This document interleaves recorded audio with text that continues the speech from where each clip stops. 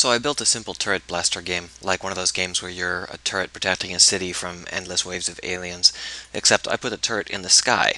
So I'm trying to kill off these flying saucers before they kidnap my little pink dudes.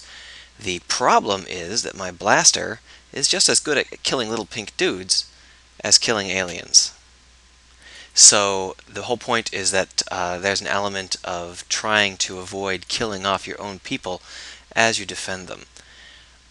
Um, and I'm not ready to release it quite yet because it hasn't got uh, enough enemies. It's only got this one enemy right now. Um, but I have a whole bunch of enemies mapped out, uh, planned. I just haven't built them yet. Um, the game is actually significantly harder than it looks. Uh, I actually have too much practice at this and it's at the lowest difficulty level. Um, of course, with only one enemy, the pattern gets predictable.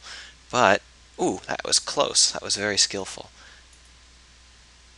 Um, but there are a lot of things you can take advantage of. It's a little bit deeper than you might think because, for example, since the beam lasts for some time, you don't have to hit exact.